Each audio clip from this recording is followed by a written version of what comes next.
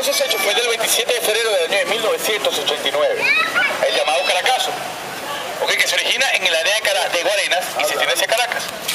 Y se produce por las normas impuestas, las medidas impuestas por el Fondo Monetario Internacional. ¿Cuáles fueron esas medidas? Pues el alza de la gasolina, el aumento del pasaje estudiantil y el aumento de los artículos de la primera, de primera necesidad, los cuales hacen que surja un estallido social de la población venezolana. Ahora vamos a ver una pequeña representación de lo que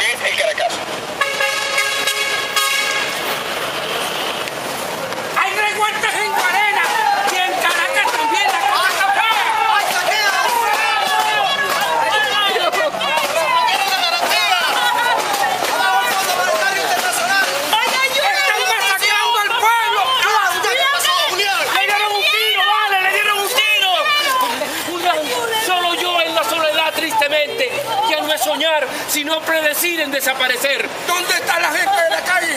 ¿Dónde están mis amigos de los barrios? ¿Dónde están los desaparecidos en los diarios? ¿Dónde están los poetas de la calle? Lucha sin garantías, decadencia de la oligarquía. ¿Quién volverá